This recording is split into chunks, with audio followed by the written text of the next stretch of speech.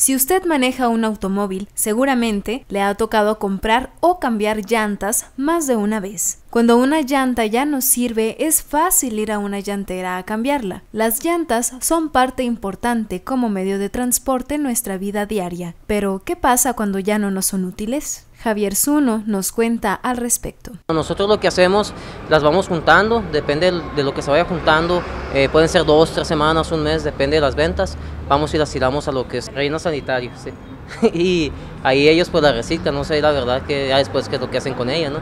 A nosotros nos dan nuestro comprobante y cumplimos con lo que debemos hacer. Bueno, mucha gente lo usa como artesanías, ¿no? Puedes hacer mesas, sillas, columpios, puedes hacer muchas cosas maceteros, puedes hacer cosas pues ecología verde, ¿no? Ya más que nada. Este, sí, la verdad, sí, cuidas el medio ambiente, pero eso sí es un uso más personal, ¿no? Como negocio, pues nosotros tenemos que ir a llantas de todos los tamaños son desechadas en el relleno sanitario, donde serán sometidas a un proceso. Cuando las llantas dejan de cumplir su objetivo, son recicladas para otros usos, ya que son convertidas en columpios para niños, los cuales generan sana diversión. En la frontera de Nogales también son utilizadas como escaleras en veredas de los cerros complicados de subir, ya que la geografía de la ciudad lo amerita. Platíqueme, ¿qué uso le da usted en su hogar a las llantas?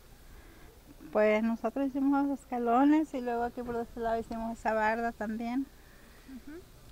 Y por más eso utilizamos nosotros de llantas, pero pues se pueden hacer muchas formas, como dice usted.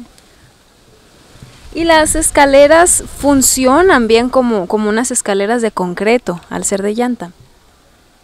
Pues esa ya tiene muchos años y sí, no se han no se han no se han caído las llantas también.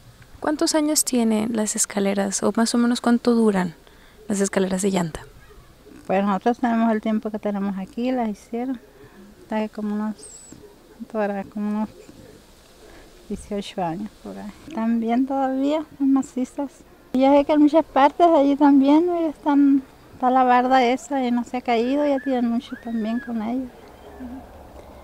Y pues pensamos que así a lo mejor queda bien también la escalera. Necesitan llenarlas así de tierra, ¿no? Para que no agarren agua, para que no agarren, porque dicen que crían muchos animales. Reciclar llantas, además de cuidar el medio ambiente, son una económica opción de construcción, ya que es un material muy duradero. Se pueden utilizar de, de, bardas, maceteros, inclusive tapetes para el hogar, decoración de jardín y lo que dicte la creatividad.